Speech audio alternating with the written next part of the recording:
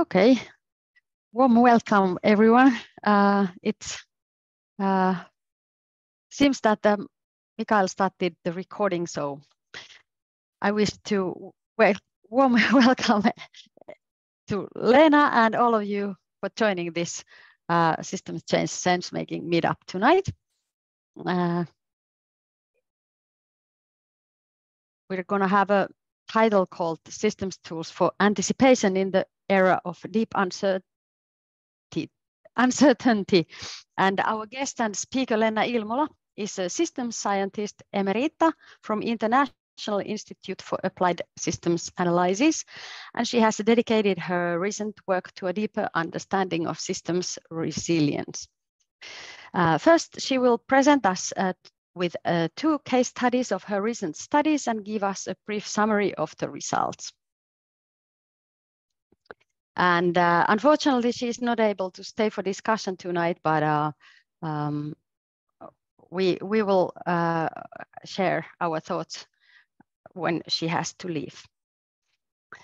Uh, every one of you who have not uh, met our association before, uh, Systems Change Finland to cultivate a society that can deal with systemic and complex challenges. And our purpose is to promote the application of approaches that help people, organizations, and society understand and work with systems and complexity.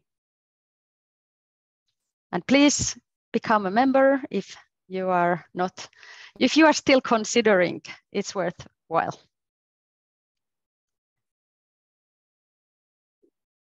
And yes, I started to introduce Leena again. Here uh, is a, a short uh, reminder for all of you.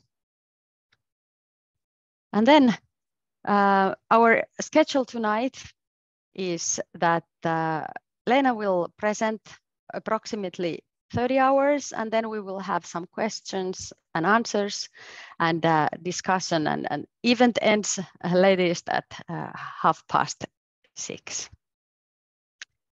Okay, uh, while you are in the main room, please uh, mute yourself. And, uh, and I guess we are all quite familiar how to, how to handle, handle Zoom meetings nowadays, but here is a reminder for that also. And yes, please uh, do, do share your ideas uh, to the chat uh, at the same time while you are listening. So no need to uh, reserve everything for the end of the meeting. And um, uh, here are some things to consider while you are sitting here, but uh, let's talk after Leena's talk. So uh, maybe La, you will start uh, your presentation from here. Thank you. Thank you. Hi, just to check, are you able to see presentation? Okay, so um, Pia and uh, Mikael, would you please check that if there are uh, important issues to discuss? Um, mm -hmm. Mm -hmm. Okay. Okay, if there are important issues to discuss in chat, and, and please let me know, just in case if I'm, I'm not hearing. Um, and uh, you are able to hear me okay? Yes. So my name is Leena Ilmola Sheppard, and I'm working uh, with the International Institute for Applied Systems Analysis in IIASA. I have been with the IIASA now for 14 or, or 16 years. And uh, then I'm a scientific coordinator of the Global X network and uh, a network of researchers and practitioners uh, dedicated there the uh, development initiatives for uncertainty to deal with uncertainty. So uh, today um, I will um, I will try to share with you my recent work. Uh, uh, I'm a method developer by my nature. And the reason why I joined to IIASA 16 years ago uh, was that I, I felt that the foresight methods that I applied were not covering, were not uh, efficient enough in order to capture uncertainty, increasing uncertainty around us. And, um, and I have been developing systems, uh, qualitative systems analysis now for uh, last uh, 14, 16 years and still as I, when I share uh, uh, uh, what I have, uh, what I'm going to present today, you can see that even after this, all of this effort, me and my colleagues, uh, together with my team, yeah, we are still um, at our infancy. So plenty of things to develop. And this is the reason why I, I wish that you will uh, interrupt me whenever during my presentation. Unfortunately, I'm not able to join till end of the session today. And uh, so if you have any questions, please let me know so that we can discuss about those issues right away.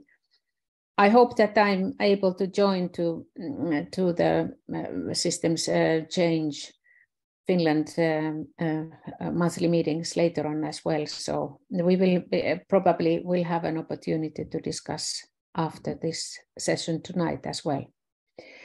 So um, uh, I'm uh, first. I, I will uh, uh, discuss a little bit about um, the uh, one mainly one case. I cut my presentation short, and that's why I'm going to share with you only um, uh, one case, case COVID, that we created early 2020 and uh, uh, then um, then after that, I would uh, like to encourage you to discuss what was interesting, what was impossible to understand. That will be a, a lot, as uh, according to my experience. And um, it, uh, what is the most important, and I, am um, it's a pity that I'm not able to join you, where this type of approach may potentially be applicable in the in, in your own context. But, but these are the issues, and and uh, and now I'm um, sharing you.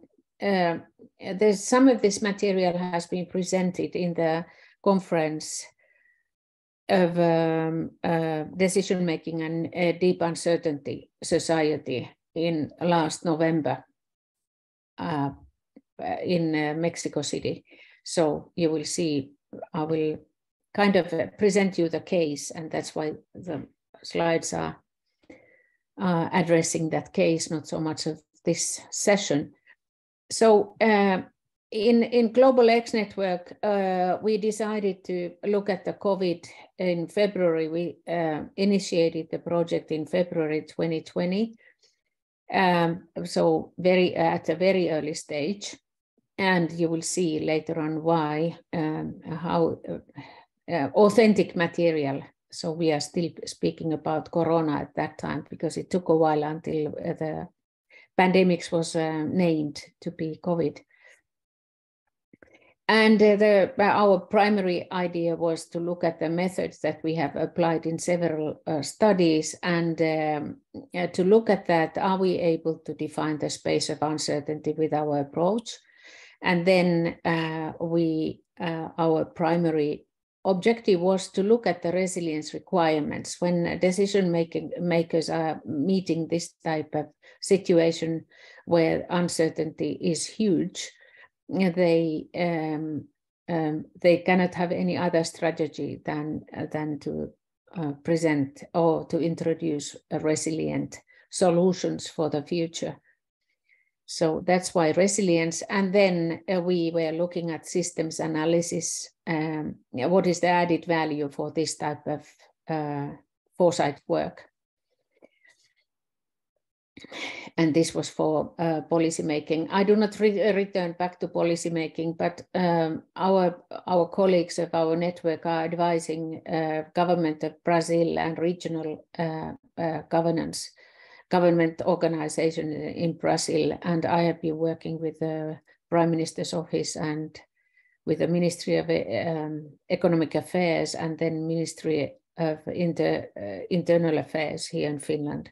So we are uh, using this type of basic study in order to to share it uh, uh, with different decision makers so that they can apply if they wish some of the findings. So, um, and this is uh, probably very, you are very familiar with this one, but uh, now, uh, old time when I used to work as a corporate strategist, I, I was uh, creating five-year strategic plans. I'm an old person. Nowadays, nobody tries to do anything like that, perhaps in energy industry, but otherwise. But uh, now in the distribution of uncertainty, um, uh, the uh, the curve has fat tails.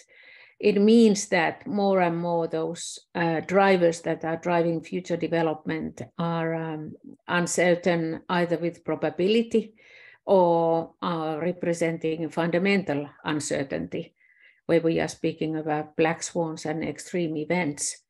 And by the way, somebody said in uh, in it was in December, no, in at the end of March, it was um, uh, World Health Organization. Uh, uh, the experts said that the probability of the next large pandemics was less than one percent. Uh, uh, so you you can see that uh, uh, we really need resilience building when risk management uh, that deals with probabilities is not enough then we have to go to resilience in order to capture those unknown unknowns as we are calling them um, we have developed for uh, during last um, 10 years in IIASA method how to deal with this type of extreme uncertainty. And uh, in principle, um, uh, what we do is that we try to define key uncertainties and we have a, a web-based method. It's a kind of Delphi method where we are inviting experts around the world to look at the, what are the most recent developments that are increasing uncertainty and we collect uh, the material. And based of that uh, uh, we will uh, create a set of scenarios. So for instance if the one of the uncertainties is the geopolitical world order like it was in the covid case so uh, instead of creating a scenario out of that, we are looking at the, the uh, extreme case where world order is absolutely broken and we are, or the global system, uh, governance system is in chaos.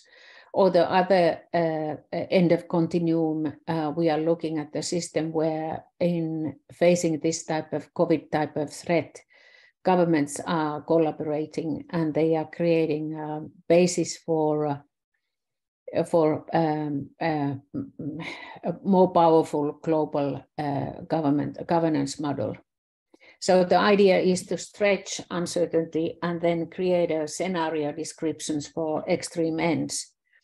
And when we have um, different uh, dimensions of uncertainty, like uh, uh, geopolitical development, um, um, uh, economic development, or uh, stability of civil society development, we are creating a set of extreme scenarios that should cover some aspect or some area of uncertainty in the future. And then the principal idea, these scenarios have only instrumental value. The principal idea is that we create an a success strategy for each of these specific extreme uh, scenarios. And in this case, we used um, uh, a typical OECD country as a, as a kind of a mental model. And we created uh, success strategies for each of these uh, extreme scenarios.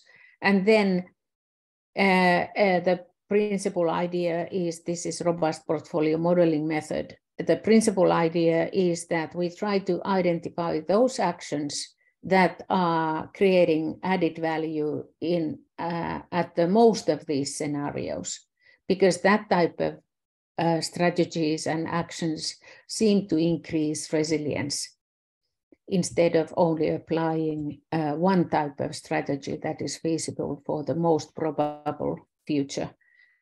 Because we know that we cannot anticipate the future and uh, forecast no way.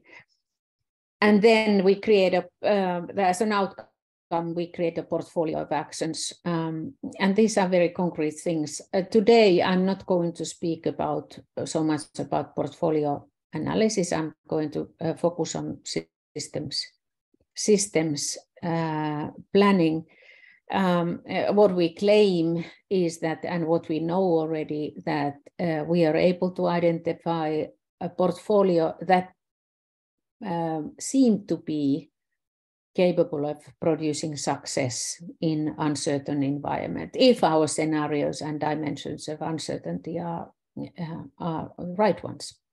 Okay. So in this COVID case, our process was simply that we collected uh, signals, of early signs of change, weak signals of change, and uh, ideas of key uh, uncertainties, and then, uh, oh, plenty of spelling mistakes. And, uh, and then after that, we used the, the, the most important issues as a basis for systems analysis. And then we try to understand that what is typical for the dynamics of, of the uh, operating environment in this situation.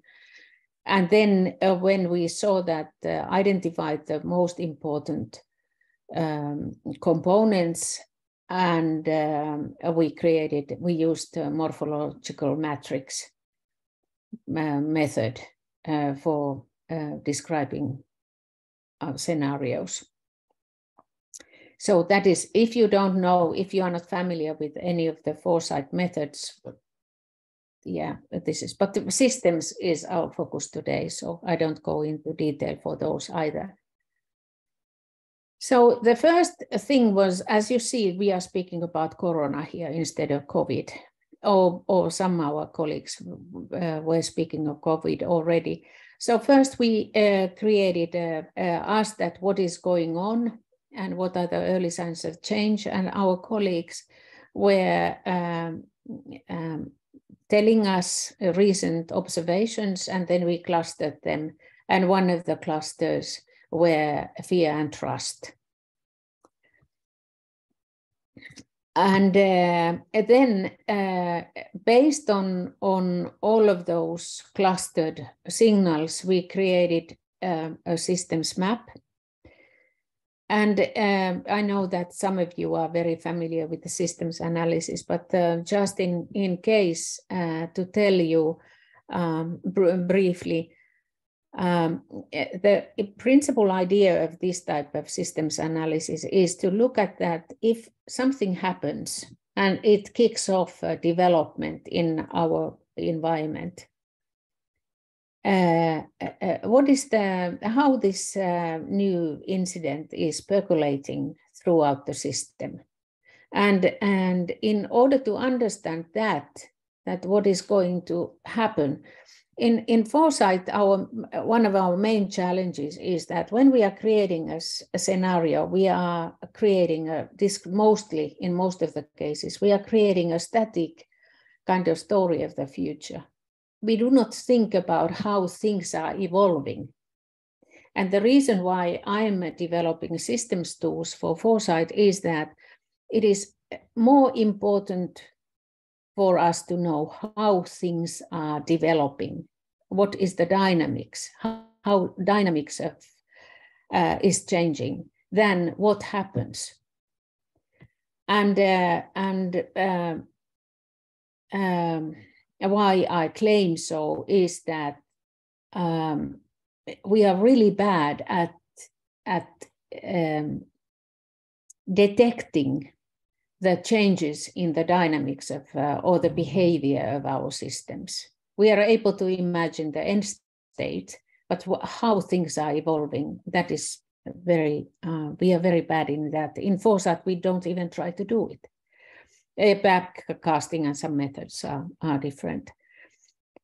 And uh, the uh, so we try to understand interdependencies between uh, different components and then how the uh, we try to understand in foresight because unfortunately we have to deal with all of the systems not only economy or civil society we have to understand how all of this is coping together so how these different systems are dependent on each other and um, and that is the idea and this is the outcome based on all of these components are based on the on the comments that we collected uh, from our network.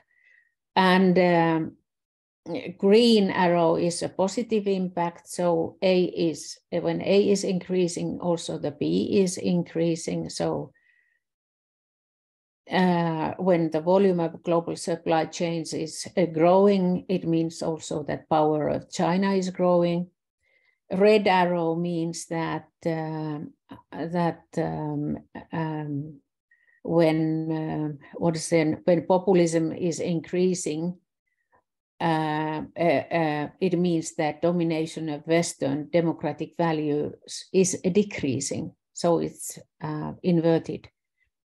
And then there are some interdependencies that we know there must be something, but we do not know what it is, what is the nature, and those were we are depicting with the blue arrows. Uh, so how we use in qualitative systems analysis this type of systems map. So uh, first thing is that we try to understand what which one of these components plays a, a larger role in systems behavior, what is important and what is not so important. And uh, in, in, importance, we are measuring about centrality of the component. As you see, budgetary stability of governments, uh, uh, plenty of arrows are uh, coming to the box, so it has high in degree. And then it has also um, some arrows out of the uh, budgetary stability of governments. So it has also uh, some out degree. So whatsoever happens in this system, it seems to be typical that the budgetary stability of governments will be changed, that that component is reacting on what is going on. And this uh, component is also impacting on other components, like here, power of the European Union. So uh, um, that um, will um, uh, will be um, impacted as well. And so the higher is the in and out uh, uh degree of the component, more important it is. Of course, corona or COVID pandemics um, that time I didn't even know how to write pandemics. I, I wrote pandemia. So this is authentic material with all the mistakes. Um, so eh, at that time, COVID pandemics was of, of course the triggering event and that uh, percolated throughout the system. But then we can see that budgetary stability, for instance, and financial stability seem to play a higher role. So we should take um, those components or those drivers of the global development into a special account when we are creating scenarios. Okay, now questions. No questions? Okay, I will go on. No questions in the chat at the moment. Some comments. Just go on, thanks. Okay. Um, uh, now I have, oh, Joe has a, a, question. Joe, please. Just, yes, just very quick question about this. So the um, you're aggregating all the in, inputs and, uh, and outputs to come to these numbers, um, or are you differentiating between negative and, and positive flows? No, um, at this stage, where uh, all the all the uh, links are counted equally positive okay so it's just an indication of activity rather than yeah um, indication um, of centrality of the net. component yes that's okay. right thanks then um if uh, as you see here stability yeah. of society so, yes so Leena yeah yes please. Yeah, question here. So I, I recognize, of course, the, the system dynamics uh, modeling or, or at least the visual aspect of what you're showing here. So my question is, if you mentioned that the dynamic evolution or simulation is important, uh, what what do you do with the blue lines where you don't know the, the impact? How do you do you do mm-hmm. simulations and you well, how do you that treat is a nasty question. That is a nasty question. Sorry. we create a no, no, that's okay. Uh, we create a hypothesis. So we uh, we define uh, um, uh, we create an um, we presume that the, the nature of a link is something, but then when we are analyzing the outcome, we have to return back to the uncertainty of the nature of that link later on. All right, thanks. Yeah. And this is typical. Um, the, um, in plenty of cases, people are in systems analysis, like uh, Peter Checkland told me, that unfortunately, after his uh, uh, work of soft systems analysis, uh, soft systems method, nobody uh, paid any attention. And he told me that no one is developing uh, qualitative systems analysis. This was about 10 years ago when I had an opportunity to meet him. And people are going to quantitative um, systems analysis. Of course, it's much easier. It is irritating that we don't know and we cannot measure. But it doesn't mean that the systems dynamics is not true in our society. And we should understand it and if uh, the fact that uh, out of um, uh, 80 uh, arrows or links, we don't know the nature of uh, five of them, it shouldn't prevent us of uh, conducting a, a, rigorous analysis. Okay, now somebody else had a, a hand raised. Alisa, no, Alisa is going to join us. Okay, I'm going to. Yeah, I think it was Sebast Sebastian has his hand up. Oh, oh, yes, Sebastian, please. Leena, hello. Thank you for your presentation. Um, just a very quick question. Remind me of the question that you are holding at the outset, creating this map. Yeah, what is the impact of uh, uh, COVID pandemics on on a national society, on on on national level? Okay. In one country. Okay.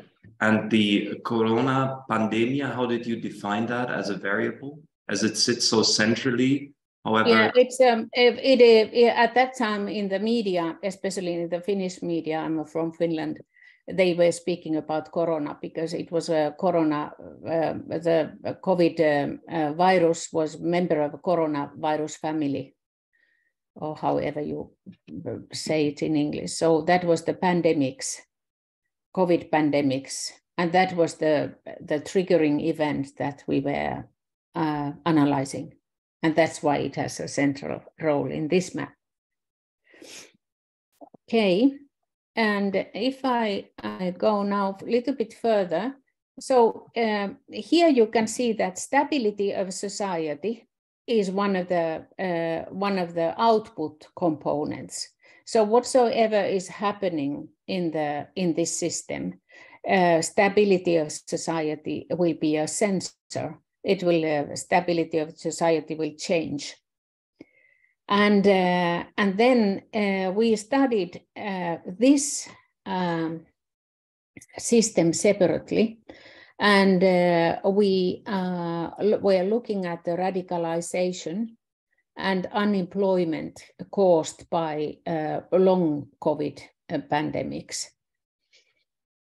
And, um, and here we were able to identify the key components of this one, of, uh, of uh, social stability.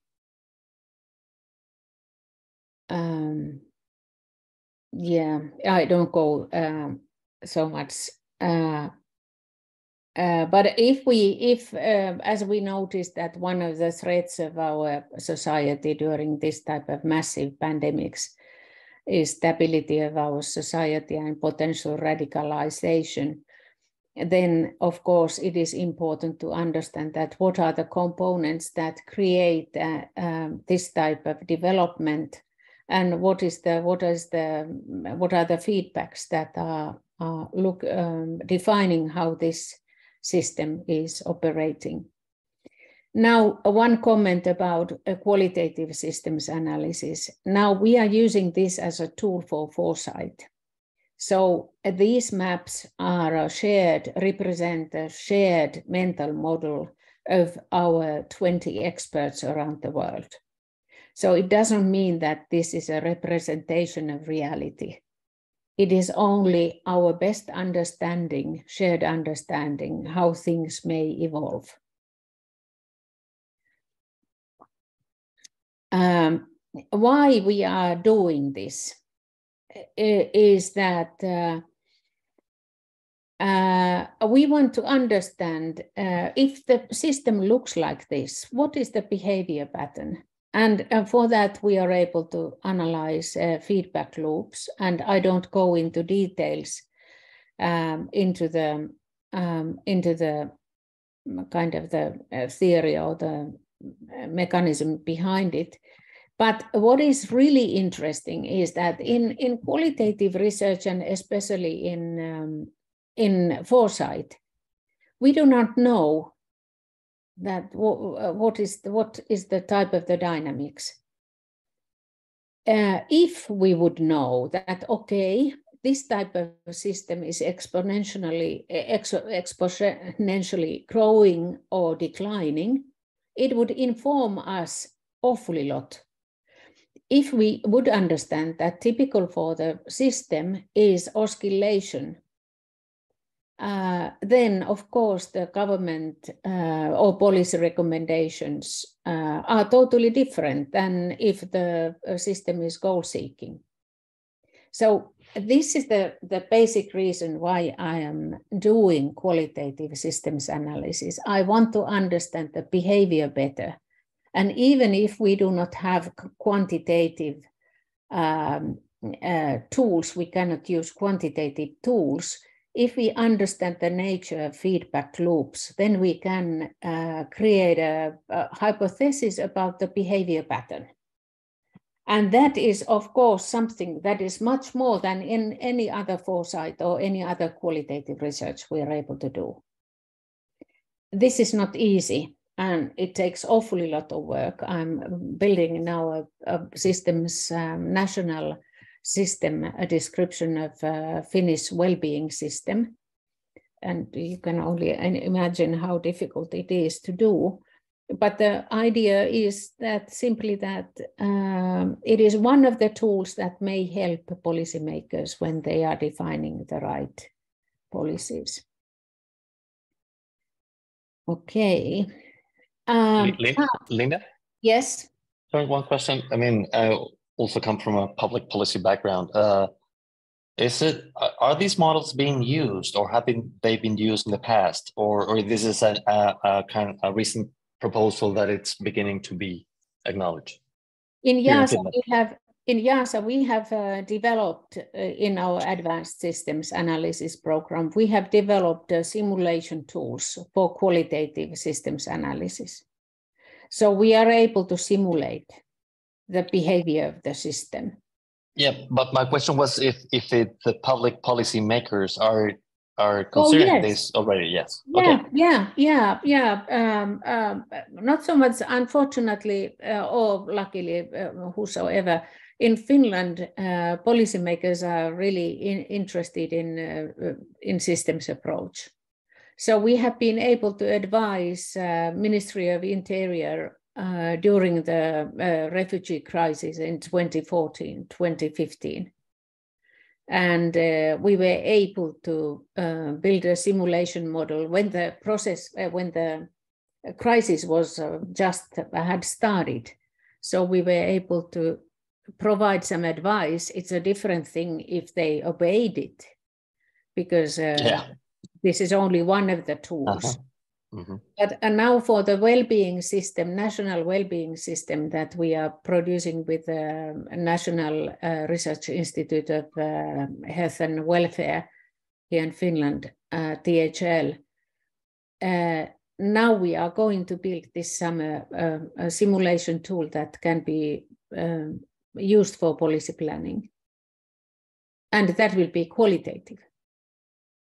But, but that is a different story. Whosoever is interested in that, I'm more than happy to tell about it later on. Yeah. Thank you. Yeah, and and then uh, we are Excuse using me, Vensim. Leena. uh, yes, There is Arnaldo has a hand also. yes, please. Uh, Leena, thank you so much. Um, my question, I think, is related to your emphasis on qualitative analysis of systems and uh, this of the discussion that you have then with policymakers or can be have, have had with policymakers. So, uh, have you been in a situation where policymakers struggle to understand the qualitative type of analysis and ask you Yeah, to Yeah, revert to a do. quantitative one because maybe numbers are easy to grasp uh, or some the, or let's say quantitative analysis easy to grasp and how did you respond to that yeah, that is exactly the uh, the situation. Uh, mostly, uh, in when we operationalize qualitative system into quantitative model, we have to use numbers, and then unfortunately, the um, policymakers can see some numbers in the final report, and it is really and this is something we try to develop so that how to say we have simply uh, traffic lights uh, green um, yellow and red or or something that is so qualitative that they do not try to compare giraffes and apples. Yeah it is a it is a problem. Uh, would love to develop a solution for that with with you guys Okay, um, I don't know if you are using Vensim. We are using Vensim. It's the best of the systems tools that uh, uh, fit for qualitative research, even if the uh, reporting is exactly impossible. So what we do now is that we simply take out of the a loop um, a report from um, for each of the components and then uh, those components that high, have high degree. So those are important components. So we are studying more closely those uh, feedbacks. As you know, it is, the challenge is that the stability of society in this case had a thousand and uh, 165 loops and so on. So you there is no way that you can analyze all of the loops but we try to analyze those loops that include key components because we know already that key components play a big role. And then uh, we are looking at the, the nature of loops, um, if they are uh, uh-huh, if they are reinforcing or if they are balancing. And um, uh, I presume you know uh, about this, but I can tell you later on or share with you some material if somebody is interested in, in this field.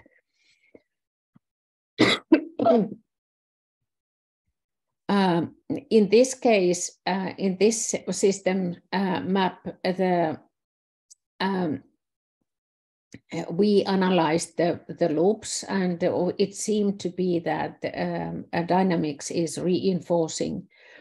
And that means that whatever is happening, it is the behavior of the system is escalating. And uh, uh, we, our conclusion was that the COVID pandemics uh, will trigger a long-term negative development. And the, it is very difficult to to change this development um, because the reinforcing nature of the key feedback loops was so so strong. Um, oh yes, the, here we were analyzing more closely the blue uh, links that I I told uh, uh, we had this one. Okay. Okay. Um, this is something that you get out of uh, uh, Vensim as well.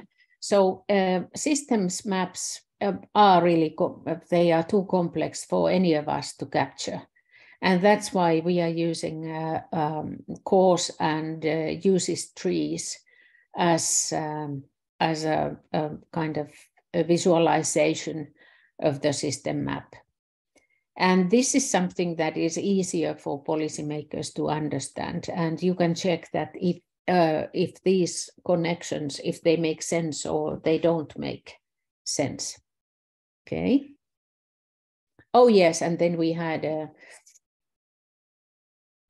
we were kind of expecting that um, that uh, low probability or non-likely but a high impact scenario could have been a, a major a disruption in, in the country, uh, neighboring country for Finland. So we studied also what would happen if uh, Russian society is collapsing due to the pandemics. Okay, now, uh, when we conducted a systems analysis, we were able to identify the central uh, components, central variables that play a role in the world uh, after uh, COVID uh, uh, crisis, pandemics. And then we were able to identify key uncertainties, those blue arrows that we didn't understand at all um, those represent key uncertainties. And based on that, we created, uh, we used morphological matrix and we created uh, three scenarios.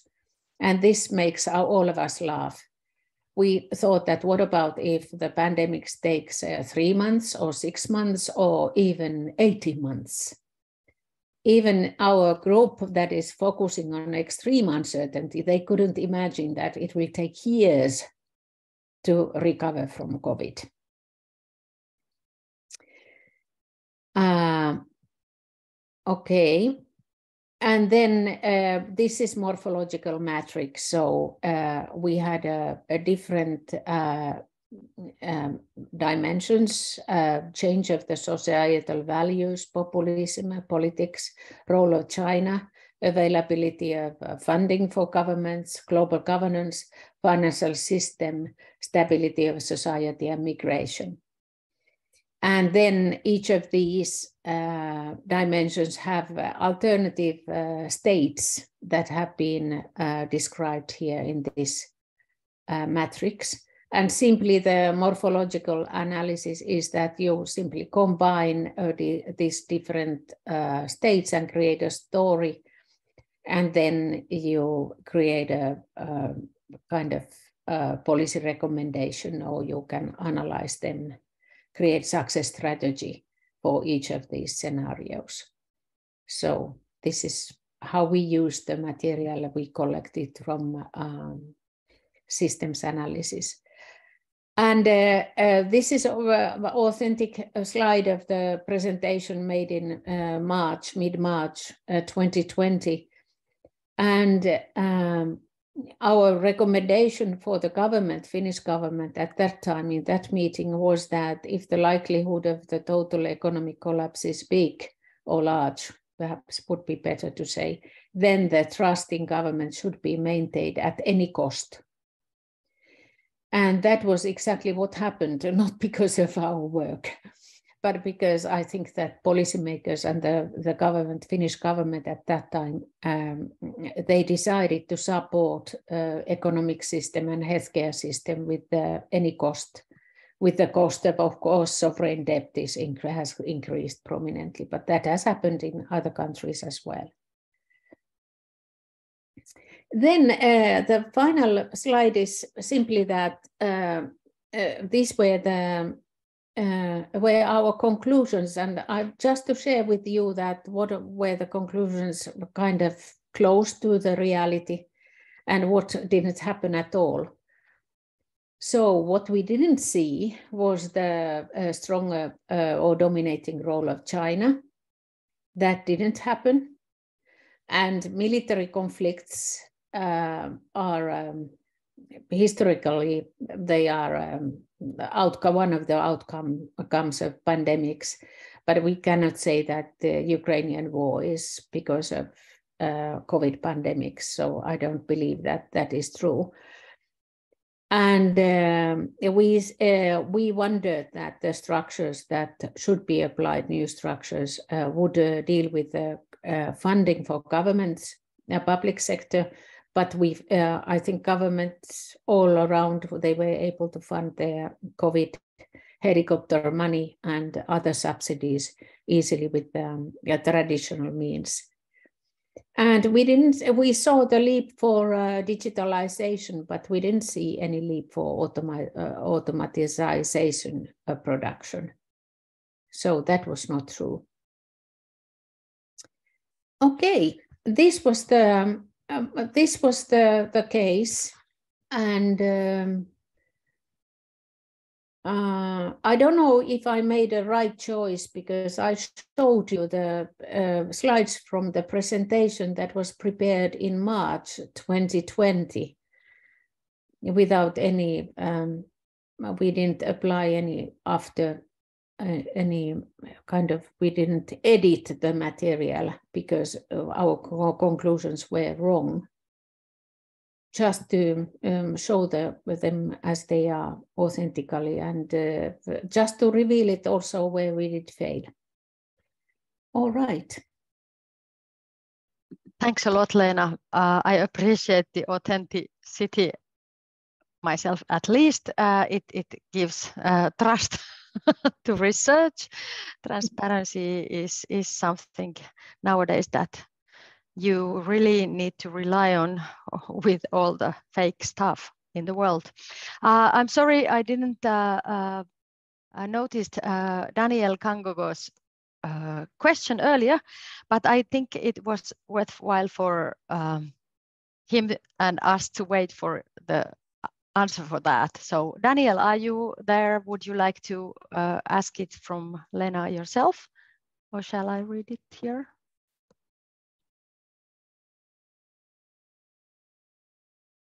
Okay, I don't hear anything from Daniel. So, so uh, he, yeah, he, he has written that uh, how do you create the causal loop diagram? Is it a participatory approach or surveys was conducted? And maybe I missed this bit, he says. Yeah, very good question. Uh, so the map itself is created in a participatory process.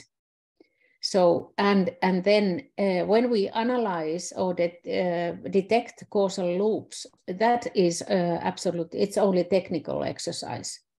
And Vensim program is producing us the, uh, the report with the list of the loops.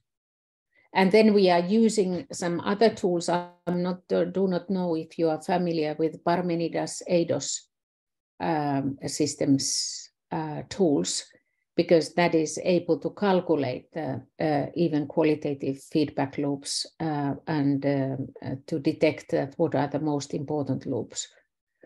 But it's a different program and it is uh, pretty uh, um, cost costly to buy. So, so um, but um, uh, when you have created a systems map, then it is only technical uh, issue that what are the feedbacks the tools are providing you with a list of feedbacks. Oh. Yeah, yeah, that is uh, Parmenides Eidos, yes. Okay, great. Leena is seeing chat now also. And Sebastian had a question, or, or is it still valid? Actually, it, it works wonders. Uh, Joe was so kind to uh, put the link. okay. Thank you so much. Thanks, Joe. Great. And I, I, I missed, I don't know, this Vensim, how, how is it? Uh, yeah, how, how is it spelled? So I am not sure um, if I have missed it. I will put it to the chat. Yes, please.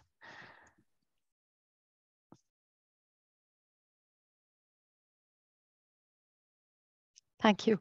And uh, is there anybody who has been uh, part of this kind of participatory approach in systems analysis that Leena was describing or other other kind that you could compare with Leena so that we could hear some some insight?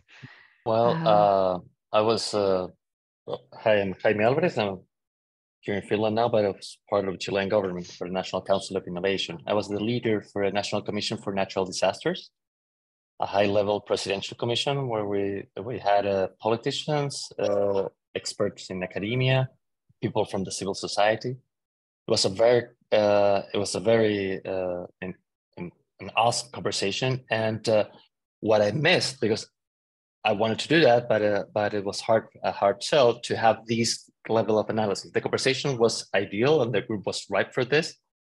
Um, now that I'm here in Finland and I'm, I'm, I'm, listening to to your presentation, Leena, then I think that we should connect with the Chilean government or others in order to to use these as a powerful tool.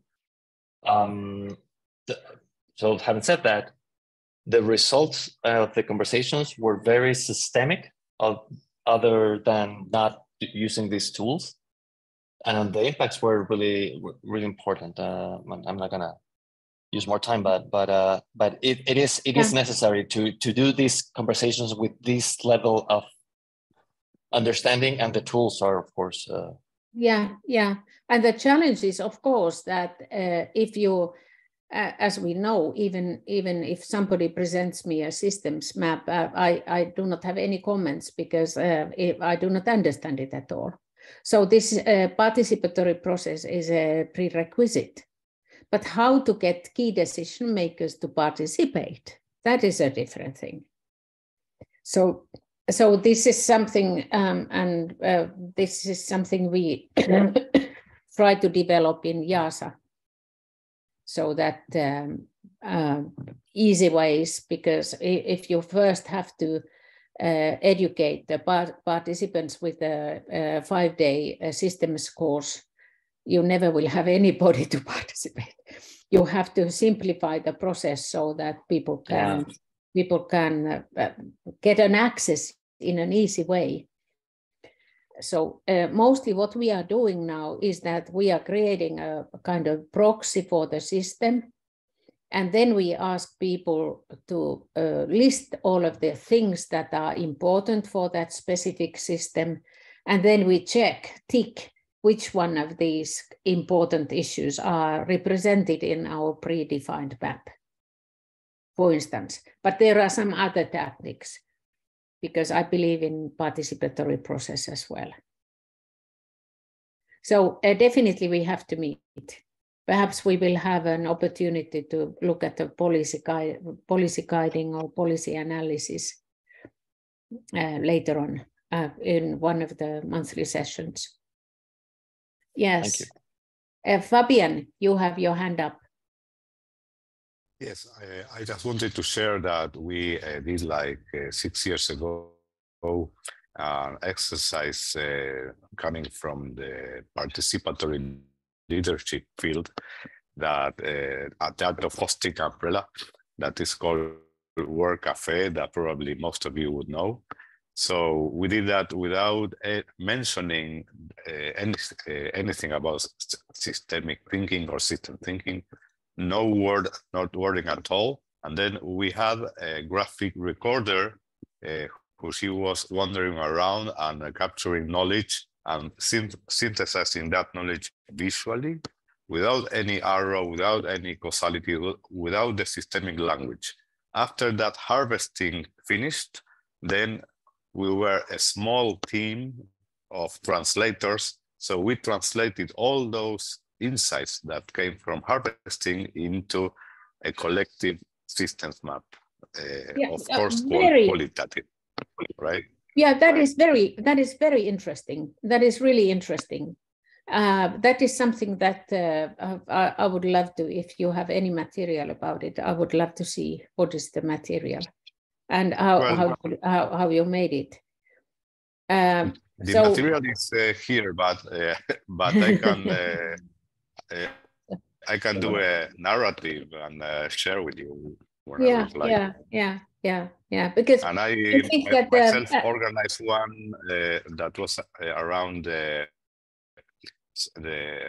safety or security in, in society, but not only physical security or safety, but health, food, education, etc., at different dimensions. So that was another interesting uh, uh, knowledge co-creation uh, dynamics also with the same several tables with the same dynamic of uh, interaction right so. yeah yeah yeah yeah. it tends to be very useful doing that, and then uh, one complies with the first law of system thinking that is never mentioned system thinking. So. oh. I, I, I think I, I, I ought to reprogram my brain without yeah yeah yeah you you are exactly right where next time i will try that let us see what happens it's hard when you are coming from international institute for applied systems analysis not to mention and my program is advanced systems analysis program so yes i i have been directing a system dynamics center for 10, 10 years but i learned the loss of of interacting with people who don't know anything about. So. Yeah, yeah, yeah, yeah, yeah, yeah, yeah, yeah, yeah, yeah. And what would be really interesting to know why some people, for some people, systems uh, approach or syst- kind of this type of thinking is absolutely natural. And, for, and why, for some intelligent people, it's impossible for them to understand. Uh, uh, well, we have people a, are polarized in this respect we had a discussion with Alexander Laszlo uh, here in, in Buenos yeah. Aires. Yeah. And he uh, talked to us about the difference between systemic thinkers and system thinkers. So systemic thinkers do not have any formal education, but they do, they think systemically. And system thinkers, they have all the formal stuff, but both of them are excellent right? So you don't need to be a specialist to uh, think no, systemically. No, no. You can be part of an aboriginal population that they have a, a very old uh, type of uh, thinking that is system thinking. So yeah, uh, yeah, and yeah. they of course didn't have any formal training on that. Yeah, yeah, yeah. Oh, this is great. Uh, uh, dear friends, I'm sorry I have to go back to my uh, husband uh, right now. Uh, it was great to meet you, and for sure I will join to the um, to the uh, network now, and and I would love to hear more more details about how you have done this, because this is a challenge that I think that it's our responsibility to help policymakers and help uh, also corporate decision makers to do uh, the right decisions. And they have to understand better systems uh, nature of the world. And uh, if we don't if we can't help them assist them so who can? So it's our responsibility. Thank you so much. Thank you leena and, and everybody who joined. Yeah. Yes and and thank please, you very much please discuss and, and tell, uh, uh, share with me later on that uh, where we could apply this kind of approach if they, you have some new ideas. More than happy to hear about it. All right, bye-bye. Bye-bye. Bye-bye. Yeah. Uh, Fabian, I think that link you put in the chat about uh, CLD and you know the assumptions that lead to surprising uh, behavior from uh, this 1986 uh, paper, I think that that is really interesting. And like like we heard from uh, Lena, I think I think when you are building these type of models, that um, represent your um, it doesn't represent it's not the it's not territory but it's it's a map of how you you you understand the world. And it's always always reductionist which means that you never catch all the uh, relevant variables. So i think i think uh, that's a really interesting uh, interesting discussion to have around that topic that uh, how real how reliable do we think that these maps are especially in like these type of uh, societal open systems where you can't capture all the information. Yes, and I also uh, post like a question there, how do we deal with environments where variables and relationships bubble and emerge and disappear continuously? So why should we map anything, right? Uh, and not develop other capacities, right? Uh, so that, that might be the challenge for system thinking, right? So how to make sense of of lava-like environments that are constantly moving in real time, right? And that, that's a big reason why we have, we, we call this uh, meetup meetup uh, series sense making meetup because especially yeah. that sense making and so understanding what is happening and how how things are changing and then also being able to uh, make decisions based on that. I think those are maybe the key key qualities. But I think we are also touching upon the question of the di difference between complex systems and uh, and the systems hard hard systems especially. Um, I think uh, how we approach those two are very very different.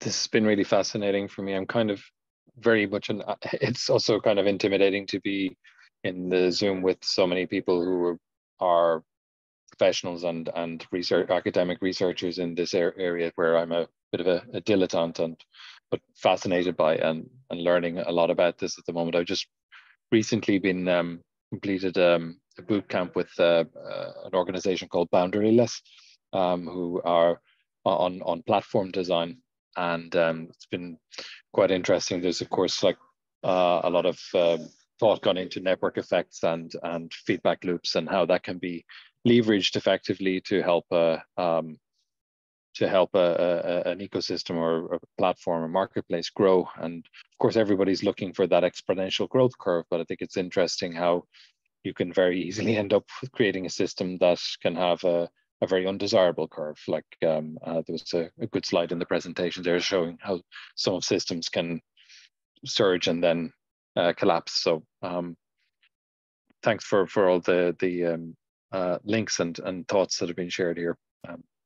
Excited to found this community and to, to learn learn more from everybody here.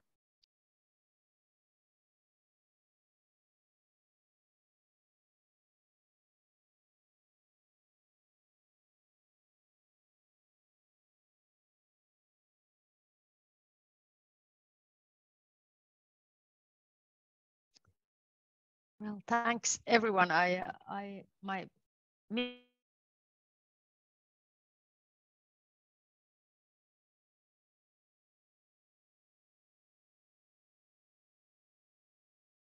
think Pia, Pia your, so much your, Pia, your, your uh, internet cut, so you, we just heard your first word, so you have to repeat everything. Oh, oh, I'm sorry to mention that I inter, uh, introduced myself as academic, but I, I am more to as a generalist here. In, in systems change, I, I have some knowledge about foresight methods and uh, and and, and do that also about um, systems analysis and, and I have background in knowledge management. So so so it's it's really really in enriching always to get these people you people around to learn more and and and and make the patch more tight, uh, the patchwork more tight. So no need to apologize for being a practitioner. On the contrary, it's it's so much to learn from all of you and us.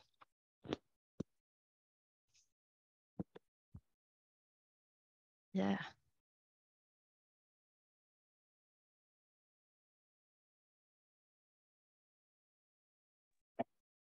Kari, Mikkele, you always have something to say. What are your thoughts?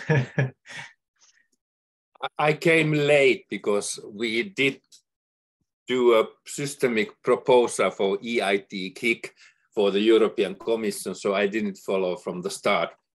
It was nice to see Leena Ilmola again. I worked 20 years ago with him, looking the e-learning global markets growing together with their tools on that time uh, perhaps I think that that notion there that that these system uh, pictures they are more mental models of those people who who do them. They are not a real picture of the real world, and that's the problem I have faced all my life. When you do these type of things and then you try to explain that to others who are not being involved in the process, they don't understand. And now I understand they don't understand it because it's my view of the world. It's not the you know shareable. And perhaps that's the discussion.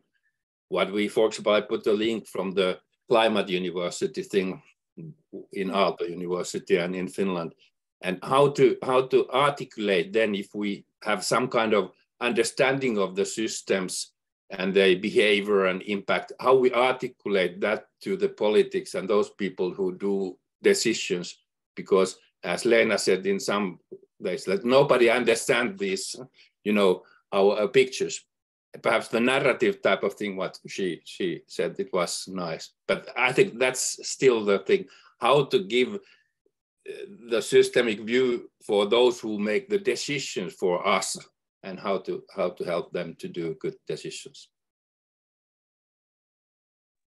Yeah, that's that's a big big reason why uh, maybe for like um, um, are fo focusing on more on the decision making points and you know uh, looking at what type of you know uh, tools and what type of you know uh, visualizations what type of perspectives might be relevant for uh, decision making and when you have this situation where you have to be you, know uh, able to make some kind of systemic decisions i think that's a very good constraint for making any type of uh, systems models. and, and that's um, one thing what i've learned in my own work. I do system change type of projects but it's that that the orchestration of the change it's not the process it's more a practice of doing different kind of things.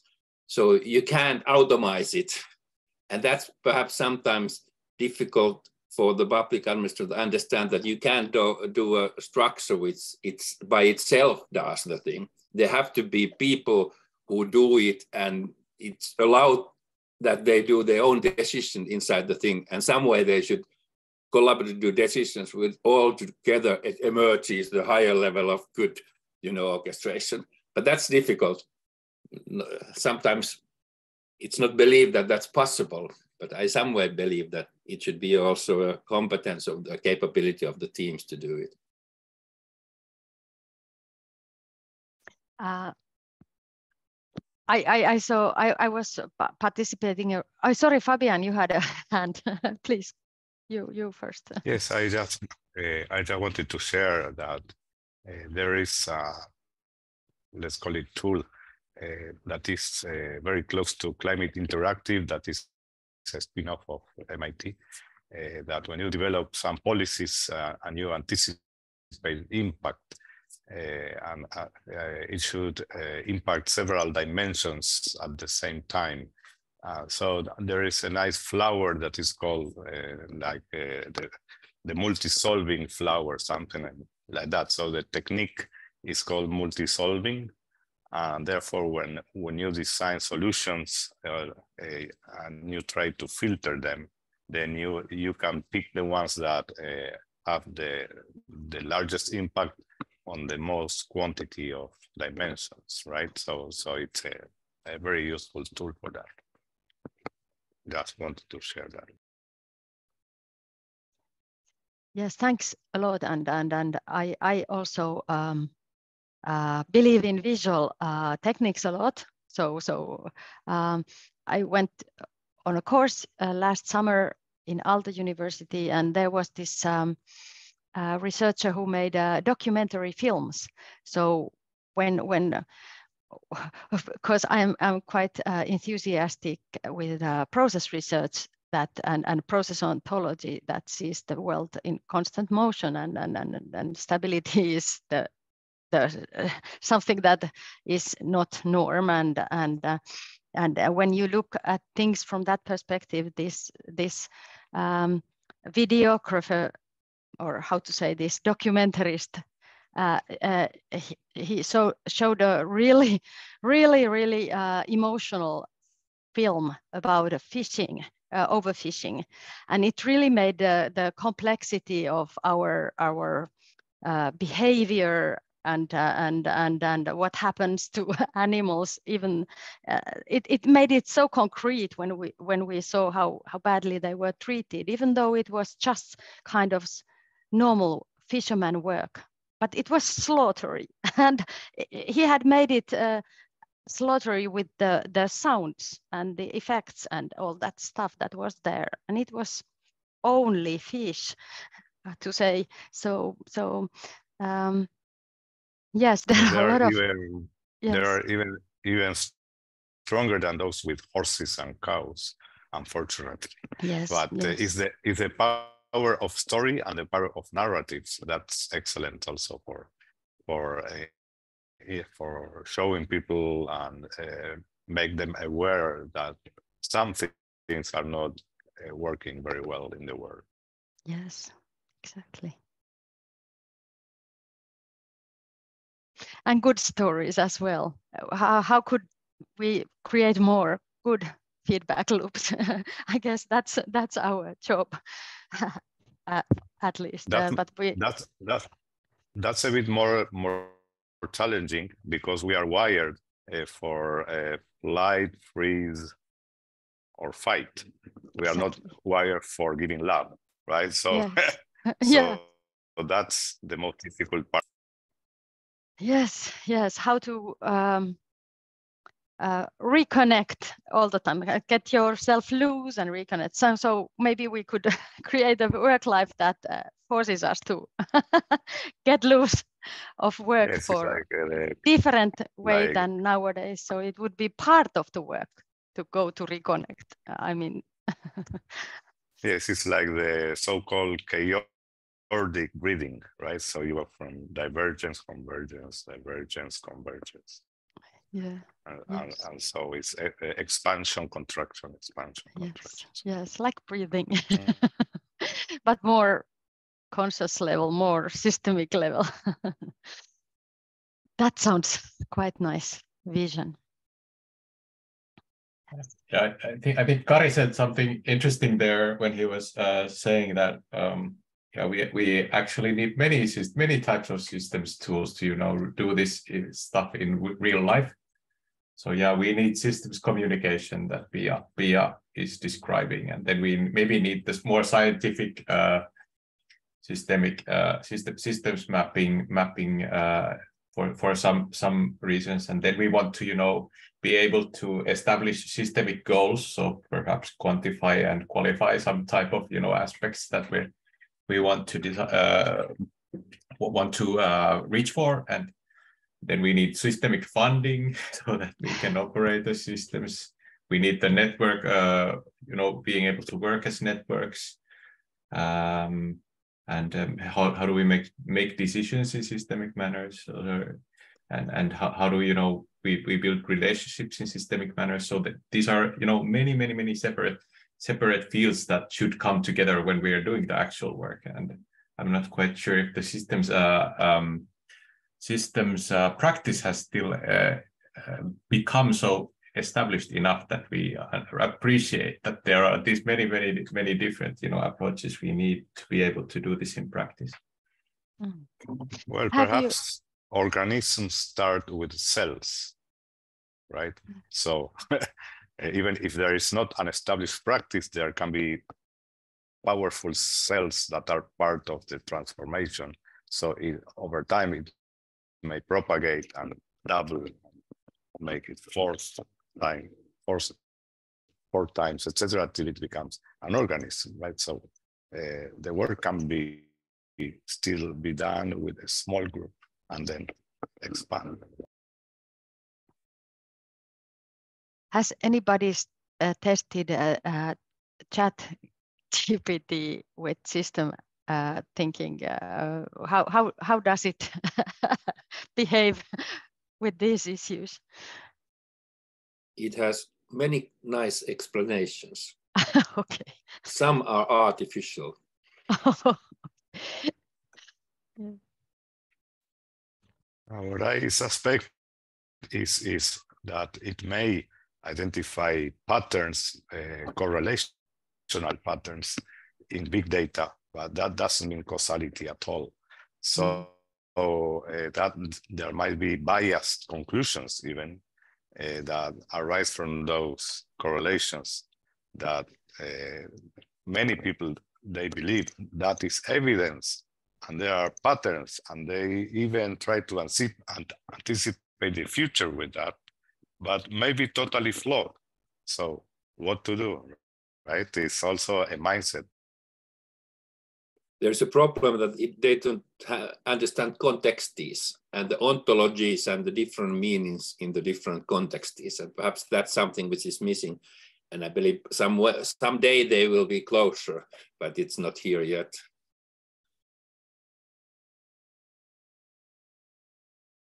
Well, a thought I had recently is to, of course, not use these large language models to do any kind of analysis or prediction, but to help us, for example, in the participatory model building, to uh, um, to parse all the conversation and tease out the the assessments that are really key, then then and then translate it into someone something that is easier than to to put into a model and so that that would make the participatory model building a lot faster than the iterations between people. That that would be awesome. Mm.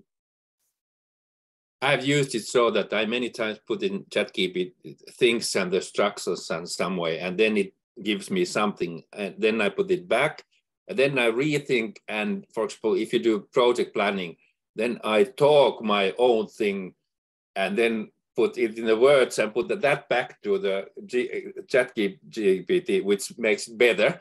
And then I, in the quite fast way, can generate much more that I could do alone without that. So it's helpful mm. if you use it properly and look, yeah. So take the best part of that.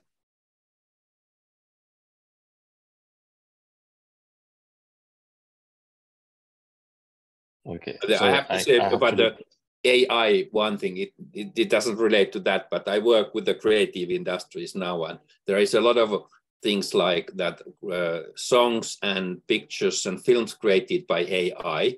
And then there's all the legal issues who owns them. There are even companies which there are only EIs owning them, so no people. So it makes quite a mess about our system if we don't do new rules, which is once again a systemic change issue.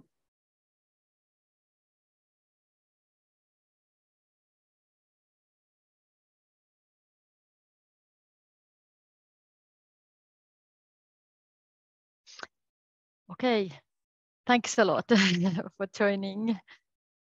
We are heading to half past six, so if if there is something you wish to still share, it would be very nice to hear. Otherwise, I guess we might end this discussion and uh, and uh, hope to wish to see you soon again. and and please become members and uh, follow us and and uh, share your wonderful thoughts. Thanks a lot for being here.